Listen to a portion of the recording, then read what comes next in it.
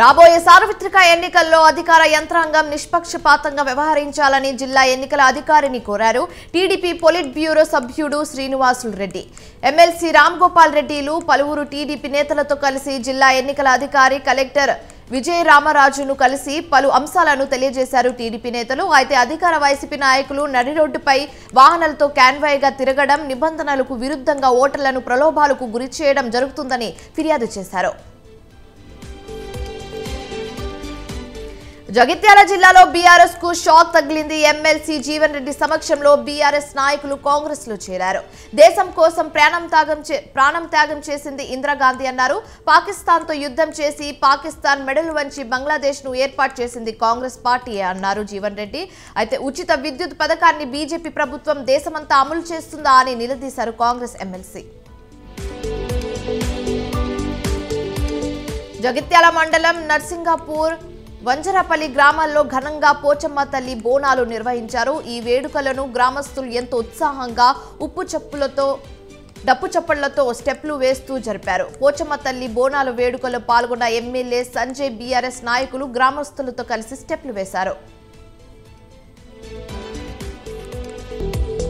BRS త్వరలో ఖాళీ కాబోతుందని తెలంగాణ మంత్రి జూపల్లి కృష్ణారావు జోష్యం చెప్పారు. పార్లమెంట్ ఎన్నికల్లో ఆ పార్టీకి మహా అయితే ఒక్క సీటు రావచ్చని అభిప్రాయపడ్డారు. నిజామాబాద్కు వచ్చిన అసెంబ్లీ ఎన్నికల్లో ఓటమిని జీర్ణించుకోలేక బీఆర్ఎస్ నేతలు ప్రభుత్వంపై విమర్శలు చేస్తున్నారని ధ్వజమెత్తారు. అధికారంలోకి రావాలనే తపనతో పనిలేని ఆరోపణలు చేస్తున్నారని ఫైర్ అయ్యారు. సోషల్ మీడియాలో తమ నేతలు అమ్ముడుపో అమ్ముడుపోయారని వచ్చిన వార్తలను వైసీపీ మైలవరం ఎమ్మెల్యే అభ్యర్థి సర్నాల తిరుపతిరావు ఖండించారు. వారి మీద చట్టపరమైన చర్యలు తీసుకోవాలని పోలీసులకు విజ్ఞప్తి చేశారు. ఇక మైలవరం నియోజకవర్గ పార్టీ పరిశీకులుగా అధిష్టానం కర్ర హరీష్ రెడ్డిని నియమించారన్నారు. రేపటి నుంచి రెడ్డిగూడెం మండలం అన్నెరపేట ప్రచారం ప్రారంభిస్తామన్నారు. ఈ నెల పదిహేనున బస్వాపూర్లో మహిళ మెడలోంచి బంగారు గొలుసును లాక్కెళ్ళిన నిందితుడిని పోలీసులు అరెస్ట్ చేశారు. యాదాద్రి భువనగిరి జిల్లా సనత్ పల్లికి చెందిన ఎల్లాల మధుగా డీసీపీ రాజేష్ చంద్ర వివరించారు. బాధితురాలు ఫిర్యాదుతో కేసు దర్యాప్తు చేపట్టామన్నారు. అనుమానాస్పదంగా తిరుగుతున్న మధును అదుపులోకి తీసుకుని విచారించగా గొలుసు దొంగతనం చేసింది అని ఒప్పుకున్నాడు. హైదరాబాద్ శంకర్పల్లి బీజేపీ చేవెళ్ళ ఎంపీ కొండ విశ్వేశ్వరరెడ్డి సమావేశం నిర్వహించారు. ఈ నేపథ్యంలోనే ఆయన సమక్షంలో భారీగా చేరికలు జరిగాయి. అనంతరం ప్రధాని మోదీపై ప్రశంసలు కురిపించారు. రెండు వేల పంతొమ్మిది ఫిబ్రవరి ఇరవై ఏడు సర్జికల్ స్ట్రైక్ అనంతరం పరిణామాలను ప్రజలకు వివరించారు.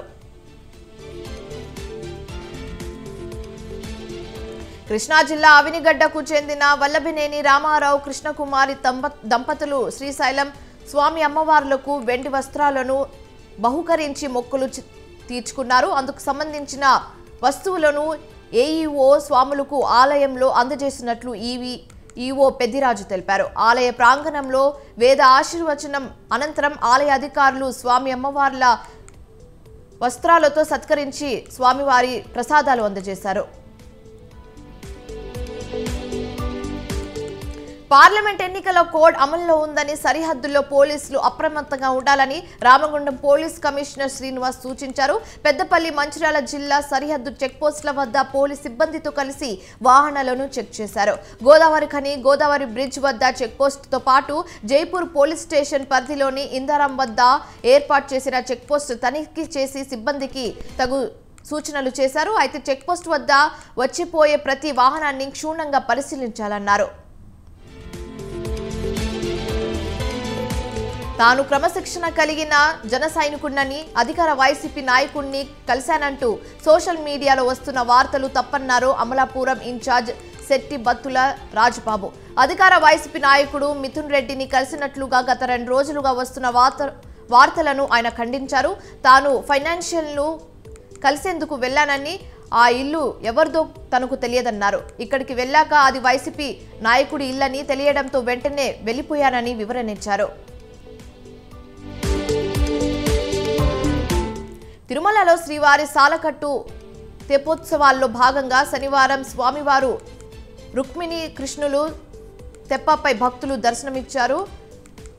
విద్యా దీపాలు పుష్పాలతో శోభామానంగా తెప్పులు అలంకరించారు అధికారులు. అయితే ముందుగా సాయంత్రం రుక్మిణి సమేత శ్రీకృష్ణుల ఉత్సవాలు ఊరేగింపు మొదలయ్యాయి. ఆ- ఆ తర్వాత ఆలయ నాలుగు మూడ వీధుల్లో కూడా రుక్మిణి వద్ద చేరుకున్నారు.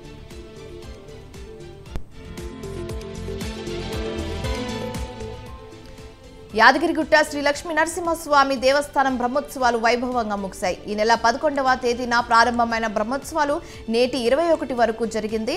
అయితే గురువారం చివరి రోజున యాదాద్రి శ్రీ లక్ష్మీ నరసింహస్వామి దేవస్థానం బ్రహ్మోత్సవాలకు పరిహ పరిసమాస్తి పలికారు. అర్చకులు ఆలయంలో నూట ఎనిమిది కళాశాలను వరుసగా పేర్చి వేడ పందితుల మంగళవారం వా వైద్యాల హోరు నడుమ కళాశాలకు ప్రత్యేక పూజలు జరిపారు. అనంతరం నూట ఎనిమిది కళాశాలలో ఉన్న జలంతో స్వామివారికి అర్చన అభిషేకాలు నిర్వహించి స్వామి అమ్మవార్లకు గర్భాలయంలో తీసుకెళ్ళారు.